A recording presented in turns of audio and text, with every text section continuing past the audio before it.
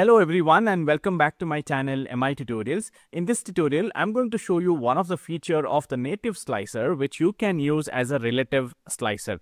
Now what do I mean by this? For example, I've added this slicer here and I have three different options here. The first option here is for me to choose whether I want the last six days, six months, six weeks or if I want next six days, six months, six weeks. And the next option here is this, which basically will give you options to select this day, this week, this month, this year, etc.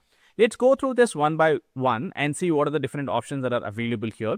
If I want to, let us say, I want last seven days, I can simply type in seven here and select last seven days. And this will show me last seven days of data. Likewise, I have last seven weeks that I can display here. I have last seven weeks calendar weeks. When I select weeks here, notice that this is basically from 7-1-2025 till 8-18-2025, which is today's date. It goes back seven weeks from today's date. But if you want calendar weeks, then you can select weeks calendar here, which will basically select your calendar weeks. If I give you an example here, if I select months and if I enter 3 here, you will notice that I'm going back 30 days from today's date, which is 519, 19th of May until 18th of August. But when I select calendar months here, I'm going back exactly three months from 1st of May until 31st of July. And that is what is being reflected here as well. Likewise, you can you have years, you have years calendar as well. And the next option here is the next wherein you can go forwards. If you have data in your dataset with future dates, you can select that. For example, you can select next three days and see the next three days of data if you have data in your dataset. And likewise, I have this here. If you want to select this day, you can also default this. For example, you can select this day and save this report. And whenever you open this report, it is going to open today's date. Likewise, you have week. This will basically show you this week's data, which is from 17th of August until 23rd of August. And likewise, I have month as well. It's displaying 1st of August until 31st of August. Likewise, I have year as well.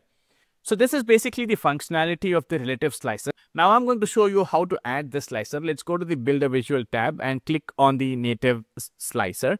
And when you do this, I'm going to go to the calendar table and bring in the date here. Now, whenever we add the date into our slicer, we always display the hierarchical data here so that you get to choose your year, quarter, month, day, etc.